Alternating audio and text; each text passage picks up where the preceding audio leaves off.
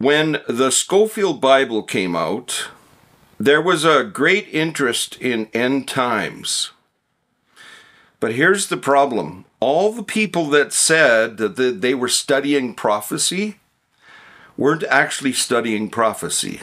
They were carnalizing pretty well everything they saw. When the Scofield Bible came out, there's this concept that came with it.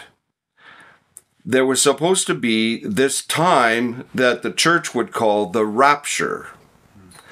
That all comes out of carnal teaching about the prophets.